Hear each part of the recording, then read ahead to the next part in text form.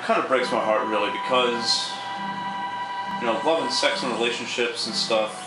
These are things that I really did like talking about back in the day, um, and now it feels like like my view of things. You know, my, my clear my clear and healthy perspective on that kind of stuff is uh, slowly being phased out. It's slowly being turned away and shunned by groups like feminists and groups like men's rights activists and stuff like that. The pickup people, the pickup people, in my opinion, they're the worst. They're the least harmful of the three. They're the least uh, toxic. But the other two, men's rights and uh, and feminists, really, in my opinion, they're they're bad news. Um, and this includes some of my Facebook friends too. Uh, so I may just stop talking about that kind of stuff altogether. You know what I mean? Um, and I'm really I'm no relationship guy. I, know how to get a woman out on a date, and that's about it. You know what I mean? But I think that's important because uh, a lot of men don't know that, don't know how to do that. They don't know how to make moves without, you know, getting shot down, or they don't know how to make moves without, um, without uh, being, you know, accused of something that they don't want to be accused of, and stuff like that. But is it really my place to save them? And that's that's my uh, current uh, conundrum at the moment. Um, I like talking about these things. I like, uh, you know, I like asking the fifty thousand dollar questions that no one dares to ask. You know what I mean? Um, you know, similar to CM Punk. You know what I mean? Like, I have the balls to say what no one else dares to say, and the and things and the and you know, what people don't have the balls to say is that is that I believe that feminism is is just as bad nowadays as men's rights are. You know what I mean? They're both greedy groups that focus on creating their own uh, their own world that they can rule. You know what I mean? Which to me is very selfish and ignorant, and it, it, it needs to it needs to end. It really does. It's it's something that I don't like being a part of. And anyone else is was a part of it, um, you know, just you need to. Okay. I remember reading. Um, if anyone knows who Stephen Covey is, this guy wrote the, um, the Seven Habits of Highly Effective People. He had a kid, and his kid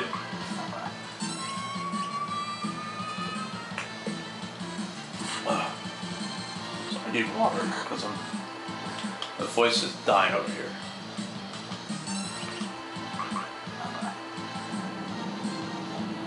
Didn't come him, come on. Stephen Covey had a kid. And his kid wrote like a like a like a like a for teens kind of book, you know what I mean? Like man, it was called The Seven Habits of Highly Effective Teenagers. Alright? Excellent book I remember reading. It's awesome. Junior of high school. And um and it was a good quote. It was uh, control your destiny or someone else will. Uh, and I honestly think that the, the, the adult version of that is um, choose your choose your own values or else someone else will. And that's what feminists and men's rights activists uh, are running into. They're just joining a group because they feel like they belong in it and said group is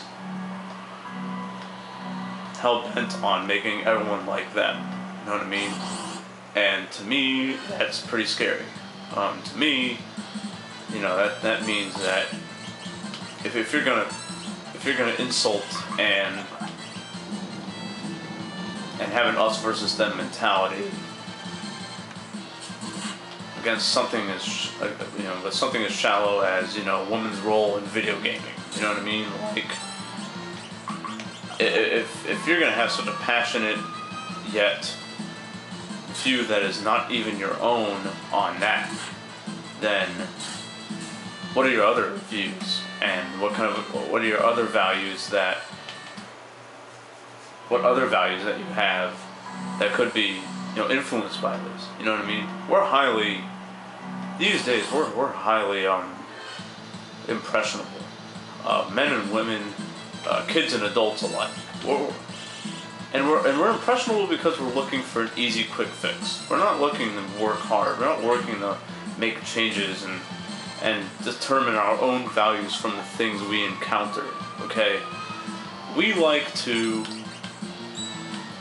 pick a side, and then we like to make others join that side. The hell is that? Oh, cool. Aw. Thought I was gonna do something awesome. Oh well. Maybe it's like a remedy on everybody. I don't know. I think I'm gonna be good after this grinding session. For now, anyways. Then eventually I'll, uh, be able to grind on other better, easier players or easier areas or more difficult areas. I mean, damn it.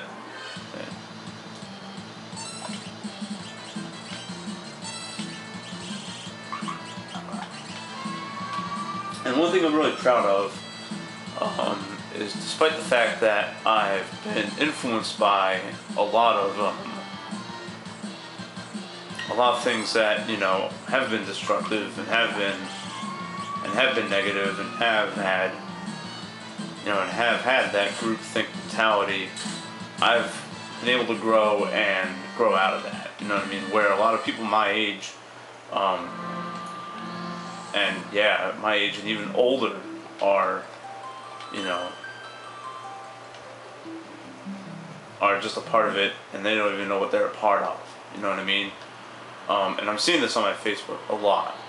I'm seeing this on my Facebook with feminism, and I, I'm seeing it online in general with men's rights, with, with men. You know what I mean? Like, and it is really.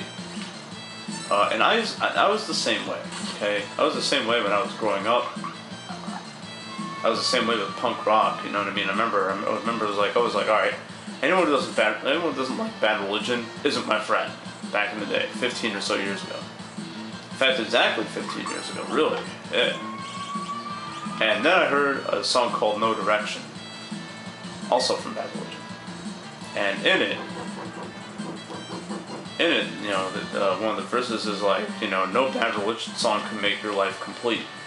So even they were just against what they were talking about. You know what I mean? It's like, you know, think for yourself. Don't think for us. Don't have us think for you. That's not cool. You know what I mean? And it isn't cool.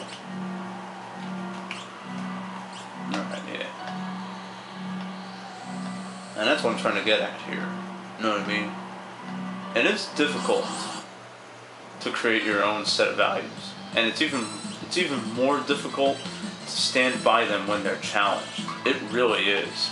I mean and it's and you know you really need to learn when to walk away and when not to uh, and when to really and, and when really you know fight the good fight. I mean I went on some video. There's this one chick who was talking about, oh yeah, you know, you know, nice guys. You know, if you're a nice guy and you like and you like putting women on pedestals and stuff like that, well, you know, your day will come. You know, you'll just have to get with women after they've you know run through, you know, women who they guys who they've who they're sick of hooking up with. You know what I mean? And to me, that's a very uh, to me that's a very toxic thing to say just to say that you know oh if you you have that nice guy mentality you have no hope until you know the women you want you know hit 30 you know what i mean? Or 35 or even 40 like by then in my opinion and in my in, yeah in my opinion like a woman's not even worth settling down with by that point because she's already you know she's already she's already been through a whole lot of crappy relationships and she's to be you know really really cynical and not as it's not going to be as fun and new you know what i mean personally i'm not going to settle down ever you know what i mean like i'm not planning on it I mean, like, a woman would really have to win me over, like, completely. You know what I mean? For me to settle down. But, you know. Uh, the chances of me settling down with a woman who's 25 is definitely better than with a woman who's 35 because the 25 year old still has, you know, uh, what was it called? Still has potential, still has upside, you know what I mean? They can still learn, they can still learn from each other, you know what I mean? And I'll watch, people gonna be like, oh, that's a sexist comment. Maybe it is, but it's a value that I have. It's a value that I borrowed from what they call misogynists. Is that a misogynistic thing to say, really? I mean, look at how shallow that is. You know what I mean? And yes, I'm being shallow when I say that. But does that mean that I think that women who are over 35 are not worth my time? Fuck no. I'd love to. I love spending time with people like that. I like spending time with anybody who doesn't drag my day down. You know what I mean? Doesn't matter who the fuck they are. You know, it could be a freaking 60 year old woman. Makes no difference to me. So whatever. So it's all very shallow. You know what I mean?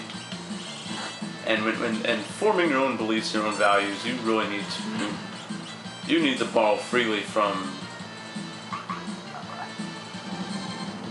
from others and not fall in, and not and resist the temptation to make their beliefs your beliefs and make their values your values. You know what I mean? It's very important. And you know what? Our society preaches against that so much. It really does. It preaches against that like you would not fucking believe. And the reason why is because because of money, because of influence, because of power, because of respect, because of all these concepts that are free, that they're fleeting, okay? You run out of money, you run out of power, you'll run out of respect too. Trust me, you will. But people don't want to tell you that. They don't want to tell you that, oh, you know, oh. you need to, you need to find a mentor. No, that, that's one of the worst things you can do is find a mentor. Because then you're going to have to mimic everything that they do. I like to find a group of mentors. What I do is I surround myself with three types of people. I surround myself with people who are better than me, people who are on the same level as me, and people who I'm doing better than. The guy I lived with last year, I was doing way better than him in relationships, in in uh, in, in lifestyle and everything like that. You know what I mean? I had a better lifestyle than him. Uh, I'm not saying he was depressed or upset or mad or angry. It's just you know I was I was more successful with women than he was. Um, you know, uh, let's see. You know, I was uh, doing I was just doing a lot better than him in general. You know what I mean? Like I knew how to clean my place. He didn't know how to do it. You know what I mean? He was able to learn a lot, and I learned more I learned a lot teaching him than I would from anyone teaching me. You need someone like that in your life. You really do. And then I had people who are on the same level as me. You know what I mean? They had a full time job. Uh, you know, they, they they were physically fit. Um, they had a decent love life, or were, or were able to develop one at will, which is what I like to say. I'm able to develop a love life at will. You know what I mean? And it worked out very well. You know what I mean? So yeah. Anyways, I'm done grinding. So I have time. To, yeah, I do have time to do this. All right. Well, let me go ahead and uh, let's get Terra in the party. Yeah. I want to get Terra in the party this way.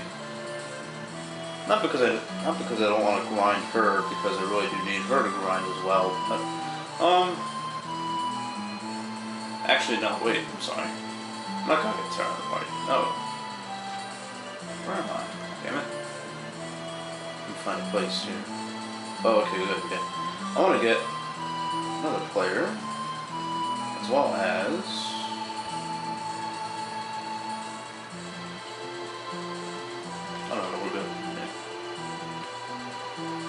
to the treasure. There we go.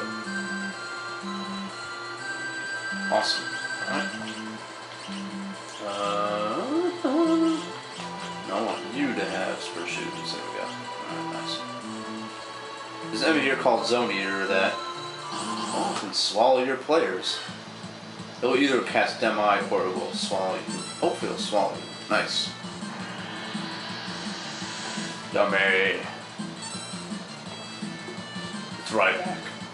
it's Ryback. Feed me more. Anyways, my last word on values is develop your own values. Don't be afraid to steal from other people. Don't be afraid to align yourself with people who are doing better or as good as you so you can learn from them. Don't. Uh, Crap, use Demi again, really? Don't be afraid to align yourself with people who are doing a lot worse than you or a little bit worse than you. Um, this way you can learn by teaching them and stuff like that. And if you if you don't latch on to the uh, to extreme beliefs, then you're gonna do really good. You're gonna do just fine. Anyways, let's let's explore. Yeah, let's do it. Gotta get around these guys. Nice. Genji armor, good shit. I don't want to get knocked. I don't want to get knocked down there. Have a magical brush, I'll sell that for money. Damn it! Ugh, weak sauce. That's fine. I'll get these treasures anyways. Ether, I don't care about. Red Jacket's pretty good for uh, Edgar and Sabin. Which I'm going to use them in my party for most of the, most of the time. Nice. Nice.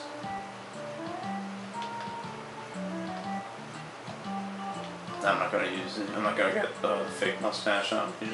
That's what that chest is. It's fake mustache. Let me save here because I do tend to die here. Alright, so it took a little bit under an hour grinding. That's fine.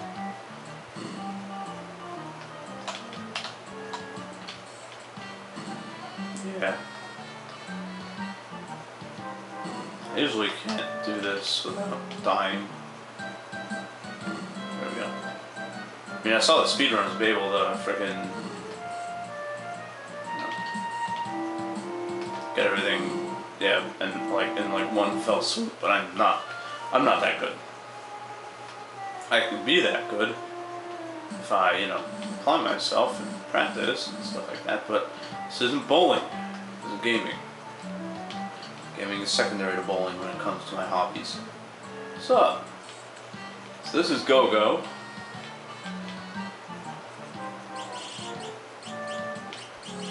You encounter him in Final Fantasy V as well. He's a mime, and he can mimic stuff, which is awesome. And yes, I will probably use him. Uh, only bad thing is that he can't. Um, he can't make a. He can't make use of. He can't equip espers, so he can't. Um, and he can't get magic and attack bonuses and stuff like that. So yeah. Oh, I don't have a warp stone, do I? That's unfortunate. Oh well, let me uh, stop this video and I'll just run out and that'll be the end of it.